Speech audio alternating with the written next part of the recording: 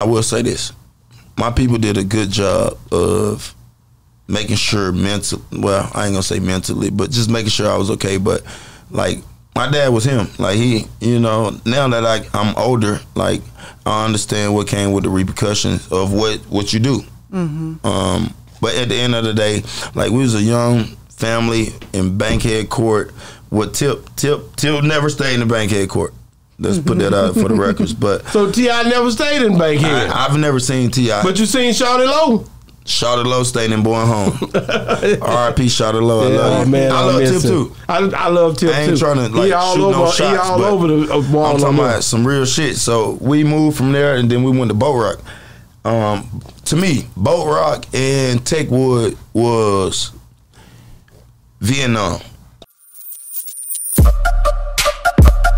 Yeah, we on Boss Talk 101. 101. Yeah, we gonna talk. Check it, man. We got a guy here today. He don't need no introduction. This guy right here been busy, man. His whole career, man. We watched him. Really, we watched him evolve. We watched him. We got inspired by him at Nah, times. you watched me f- up too. No, we watched that all too. those We shit. got him. We got we we got all different angles, man. Adam Pac Man Jones in the building.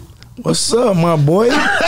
ECO in the building. Man, How you doing, Jamaica? Miss Jamaica, what's up? Like, thank y'all nah. for having me, man. Man, no, thank you, man. I mean, you know, when when when uh, I first got the call that I could interview the really the famous to me, man, because I always respected you. I'm a I, I come from a real dark background, you know, so to see you excel and come through all the stuff you came through, just been dope to watch, really. And a lot of people counted you out. You Yeah. know what I'm saying? But They you gonna still here. though. You Yeah. still standing like Antwone Fisher around this thing. Mm-hmm. You know I don't know who the hell Antwone Fisher is, but That doesn't- Hopefully it's- Uh, you're a it's good dude. comparable. You're, you're a good dude. You're a good dude. Let's get to it, Mr. And the crazy thing, I'm not a football fanatic, but just studying your story, I fell in love with your story. I'm telling you that right now. But anyway, so you were born and raised in Atlanta? yeah.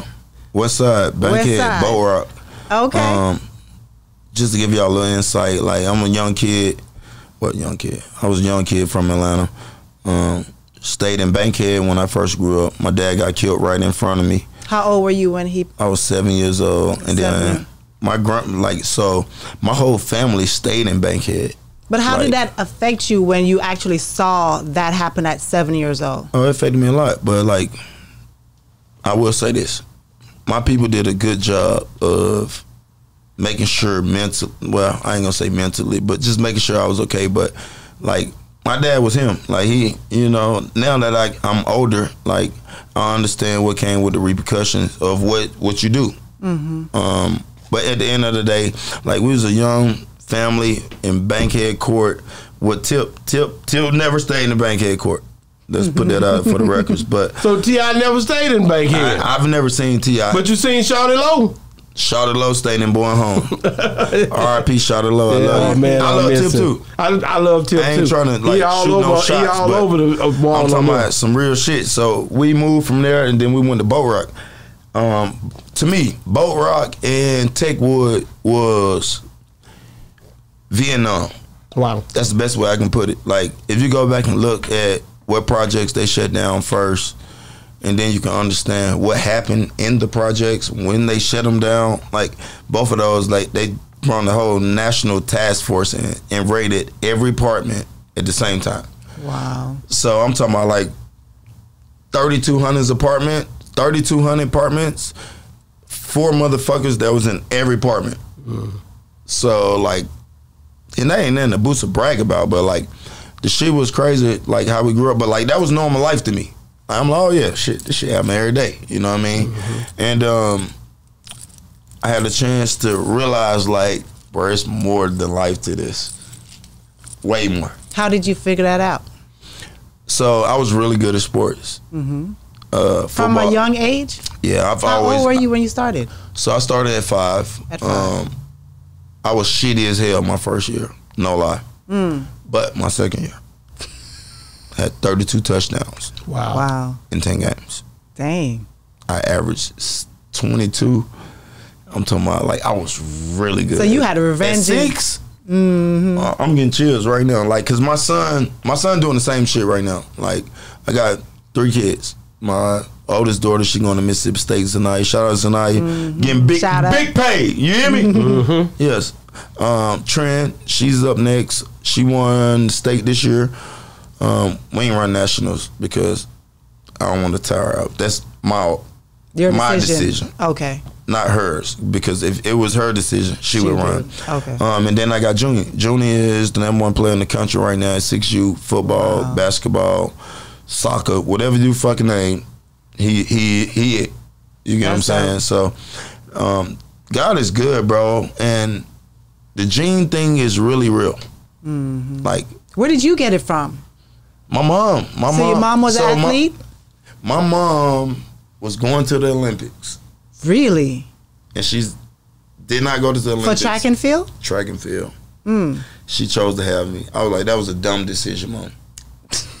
Really? was. You wouldn't be here if that. I know, but like being selfish, like And she was I would go selfless. fill out, fill out my dream. That's me personally, and like Right. love my mama to death. Shout out Deborah Jones. Debbie Actually, Jones. she's went, she she going through some stuff right now. We gonna be all right though. We got a little cancer that's going on over there, but Wow. stay positive. You hear me? But yeah, but she was like, shit, nah, not doing that. I'm having my son. So my mom was had the record in the 200 and the 400. Wow. Wow. Um, and she chose to have me instead of fucking going trying out for the Olympics. So that was big. But like that's how I got Huge. that's how I got most of this athletic ability. And my dad was a dog, bro. He, you, you don't have a picture of him, but like this nigga used to walk around in the project with boxing gloves around his neck. Like he was an animal. so like Fighter. yeah, no. The other one, but I ain't gonna say that on here. But yeah, but we got good genes. I will say that. And even my wife, like my wife got great genes. She was a track star too. Wow. So yeah. So you just they love got good. athletes all I'm- around you. I'm really like athlete or music. Like Hmm. my daughter just did a song, both of them. Hmm. My youngest daughter just did a song. First time in the studio wow.